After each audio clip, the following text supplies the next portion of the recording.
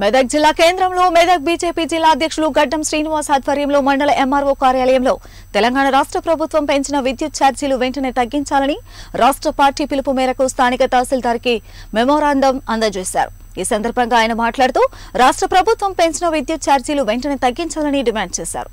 పెంచిన విద్యుత్ ఛార్జీలతో పేద ప్రజల నడ్డి విరుస్తున్నారని అన్నారు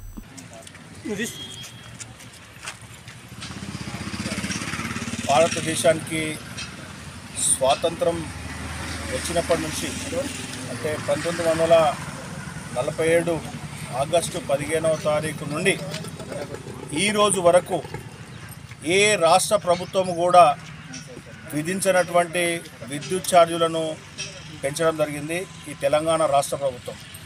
తెలంగాణ వస్తే బంగారు తెలంగాణ చేసుకుంటాం.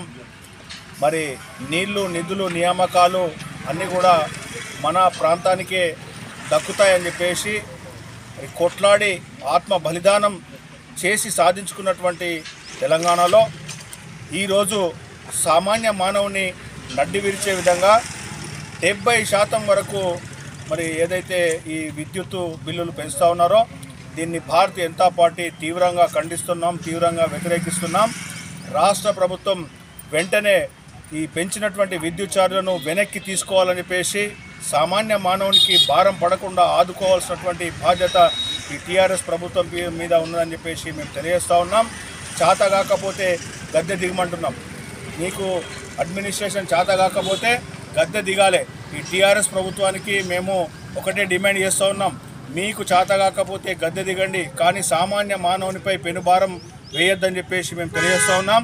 అదేవిధంగా మరి ఇరవై నాలుగు గంటలు రైతులకు ఉచితమైనటువంటి విద్యుత్తు ఇస్తామని చెప్పేసి ఎలక్షన్ మేనిఫెస్టోలో పదే పదే చెప్పి మరి ఓట్లు దండుకున్నటువంటి ఈ టీఆర్ఎస్ ప్రభుత్వానికి ఈ కేసీఆర్ ప్రభుత్వానికి మేము సూటిగా అడుగుతూ ఉన్నాం. మీరు మేనిఫెస్టోలో పెట్టినటువంటి నాణ్యమైన విద్యుత్తును రైతులకు ఇరవై నాలుగు గంటల విద్యుత్తును సరఫరా చేయాలని చెప్పేసి మరి అదేవిధంగా విద్యుత్ ఛార్జీలను కూడా తగ్గించాలని చెప్పేసి ఈ రెండు ప్రధానమైనటువంటి డిమాండ్ల తోటి ఈరోజు అన్ని మండల రెవెన్యూ అధికారులకు ఈరోజు వినతి పత్రం ఇవ్వడం జరిగింది. ఈ రెండు డిమాండ్లు సాధించేంత వరకు కూడా కేసీఆర్ మెడలు వంచి కూడా ఈ విద్యుత్ బిల్లులను తగ్గించేంత వరకు రైతులకు న్యాయమైనటువంటి ఉచిత విద్యుత్తును ఇచ్చే ఇచ్చేంత వరకు భారతీయ జనతా పార్టీ పోరాడుతూ ఉంటుంది. ఈ రైతుల పట్ల కానీ విద్యుత్ వినియోగదారుల పట్ల కానీ భారతీయ జనతా పార్టీ మరి అండగా ఉంటుందని చెప్పేసి తెలియజేస్తా ఉన్నాము. భారత్ మాతాకి నరేంద్ర మోడీ గారి నాయకత్వం